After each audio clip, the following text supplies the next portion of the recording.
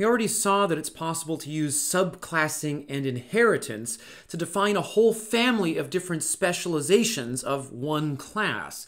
And hopefully you can already see the potential for this as a way of producing better abstractions. I could use this idea of a base class, of creating one single base class, one single ancestor that describes some interface, some abstraction, and then provide a whole family of different ways of implementing it, all of which, from the point of view of somebody using the base class, are the same, all of which provide the same features. Um, before I talk further about that, and before we get into things like what is the real meaning of the virtual keyword, I want want to talk a little bit about what it means to treat an object um, uh, being of the type of the base class versus treating it as being of the type of a more specific class. So in this file, I only have two classes. I've got the fruit class, which is basically the same as it was in the previous video, and I have the raspberry class, which is also pretty much the same. I've touched it up a bit. I've sort of polished it. But the other classes from the last video are missing because I just want to talk about these two. I want to talk about a very simple class hierarchy.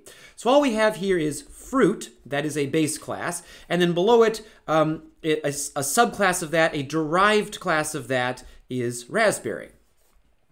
And I can create objects of both type fruit and type raspberry. We'll come back later in the week to the concept that maybe if we define the base class just to be a sort of generalization, we don't want people making generic fruit. We just want them making specific ones. We will come back to that idea.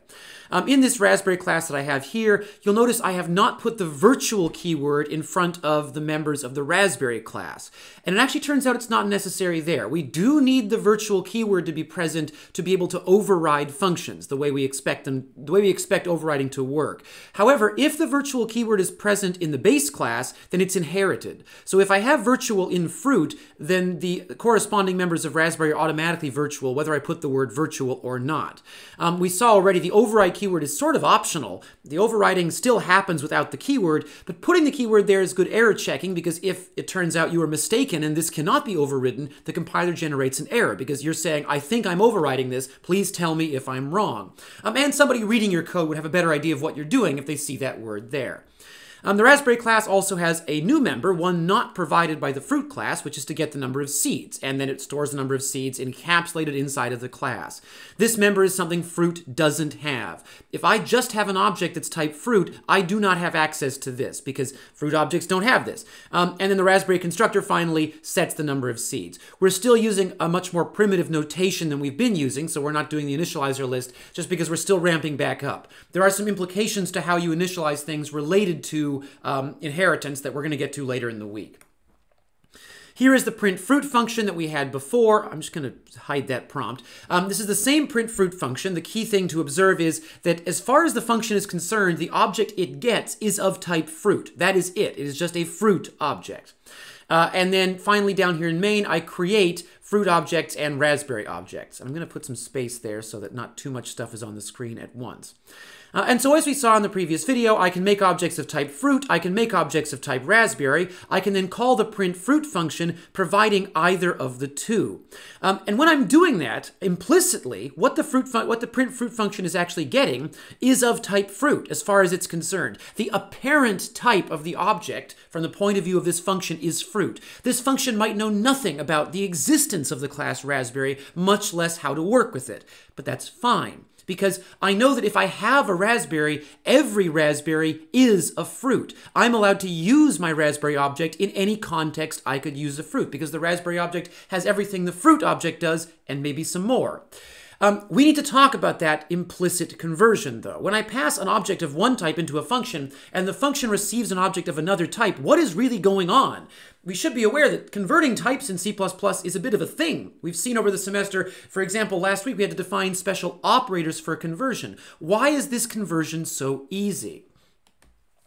And so uh, basically, it stems from the fact that every raspberry is a fruit.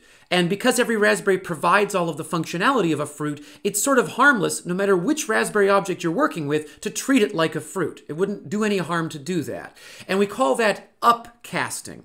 To take an object of a specialized type, a derived type, and begin treating it or, or convert it to a reference to an object of a more general type, what you're really doing is just still using the same object are, but you're deliberately limiting what functionality you can use. So all you're really doing is locking up certain things that are specific to raspberries. We call this an upcast. The word cast stems from the idea that we're doing a sort of type conversion, and it's called an upcast because we're walking upwards in the family tree. We're going from specific to general. Because every raspberry is a fruit, any raspberry can be upcast to fruit. We, we will assume that that operation will always succeed. It is always valid and will always succeed to perform an upcast, to work your way up the ladder of, of the class hierarchy. And of course, if you hear the term upcast, you should immediately be, be asking, okay, so clearly there's some alternative. Um, and the answer is yes. If I have a fruit object, uh, obviously, there could be lots of different subclasses of fruit, and in fact, maybe my object is literally just a fruit. That's all it is. But if I have a fruit object, for example, up here in print fruit, you give me something and tell me this is a fruit object. And uh, maybe I suspect, hey, deep down, this might just be a raspberry in disguise. It might be a raspberry that's been upcast to fruit. So the question is, is there a way I could test whether it secretly is a raspberry or whether it's something else? What we're talking about is something called downcasting, going from a general thing or trying to go from a general thing to a specific thing. The issue is, although every raspberry is a fruit, and therefore upcasting is easy, it always succeeds, not every fruit is a raspberry. I could call this function five times with different fruit objects. Some of them could be raspberries, some of them might not. And so I can't assume that I can automatically convert every fruit object to a raspberry because some of them might not actually be raspberry objects. And so downcasting may not always succeed. There could be cases where it fails. Uh, and so I'm going to talk more about that in a minute. Um, first, I want to run this.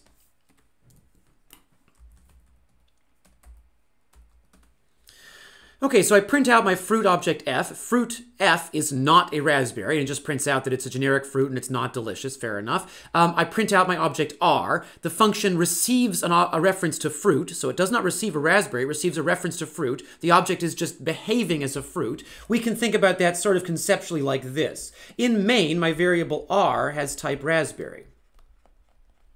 There it is, and its name is r.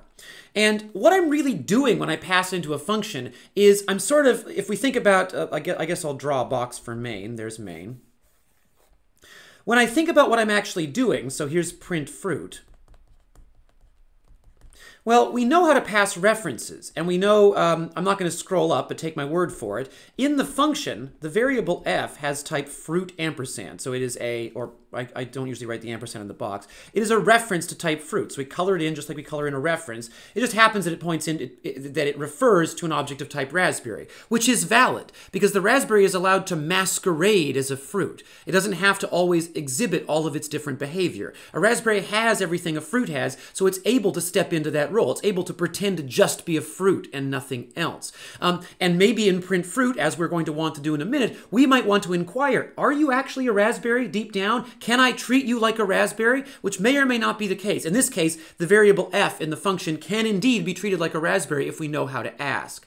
Um, and so what I've done there is an implicit upcast. It's implicit because you don't see me saying, please convert raspberry to fruit. It's just happening automatically as I call the function. I then ask raspberry its name, and predictably I get back that its name is raspberry. We're going to come back to these this set of lines in a few in a few videos to talk about one of the pitfalls of forgetting the virtual keyword is that this behavior becomes inconsistent. Um, so on line 79, I'm performing an upcast that is explicit. I am visibly changing um, the type of something, or I'm visibly changing how I treat my variable. So in main, up until this point, I had a variable of type raspberry named r. What I'm sort of doing in main, again using the notation we typically use for diagrams, is I'm making an object of type fruit on line number 79 that's actually just a reference, and again, deliberately limiting the scope, like what raspberry, what the raspberry object R is willing to do. If I use R via the reference FR, it'll only do things that a fruit can do, because of course you can't use operations on an object of type fruit that aren't part of that class. But it is still the same object. R and FR are the same thing. They're just, I guess, distinguished by how they interact with the world. Um, if I use my usual notation, when I make references inside of main, I don't usually use the box. Usually I just put a second name on the variable. I could do that. I could say, well, this, this thing is also called, I'm just going to resize my, my output here. This variable is also called fr. But I may need to make a note that as far as uh, I'm concerned when I use fr, fr is only a fruit. So when I use fr, I can only call functions that are uh, available on type fruit. But we see in both cases we get the version of the function in the Raspberry object, and that is thanks to the virtual keyword, and I'll come back to that. So what I want to talk about now is downcasting. You've seen two examples of upcasting, and that's not the only way of doing it. There's an even more explicit way to perform upcasting.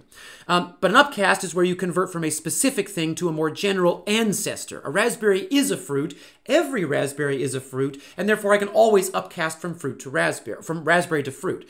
Um, but what if I want to go from fruit to raspberry? In the print fruit function, I have no way of knowing whether what you gave me really is a raspberry, but I do have a way to ask. So I could do this. I could say raspberry ampersand r equals, well, I can't just do this. I can't just try and assign the way I would with an upcast, assign f to a reference of type raspberry ampersand. The compiler is going to say no, absolutely not.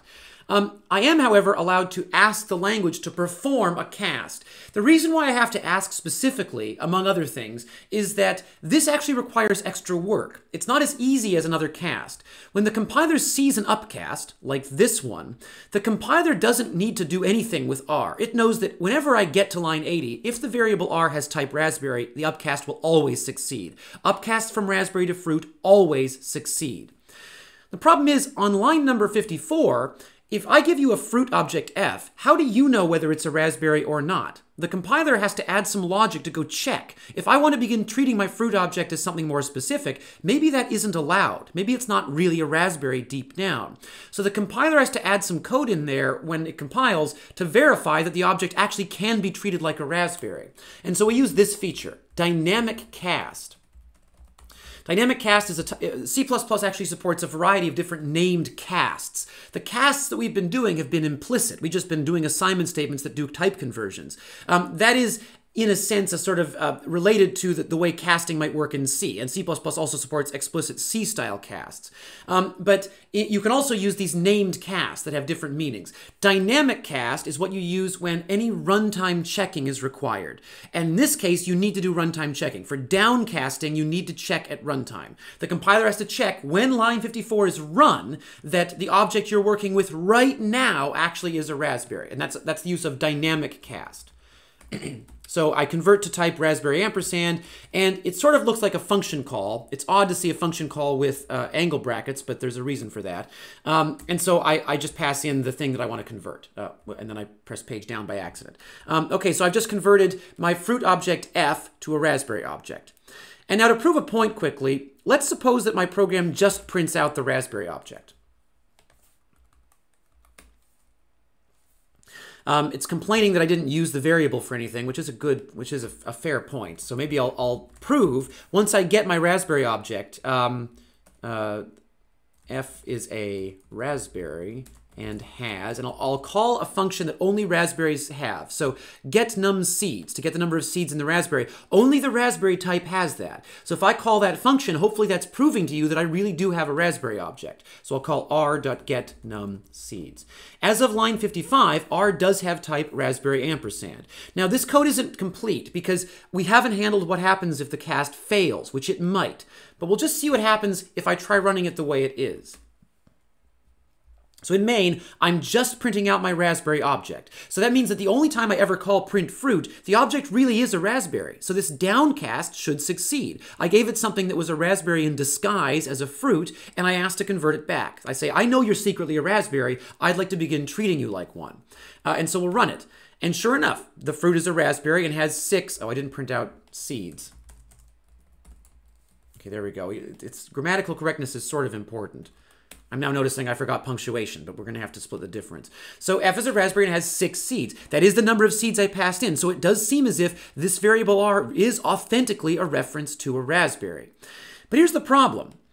What if I call the function and I give it something that isn't a raspberry? So on line 69, I'm passing in an object of just type fruit. So I, I get to the function and I, I'm giving it something of just type fruit, and then I try and jam that in and treat it like a raspberry. Well, that, that isn't going to work. It isn't a raspberry. It's something else. So if I try and cast it, that I shouldn't be allowed to do that. Uh, and if we run it, we notice that I'm not. Notice that, well, we can see that it does print out that it's a generic fruit and that it's not delicious, and then I get an exception. I get an exception. Well, I, I wonder what this is. STD bad cast. I think I know where the problem was.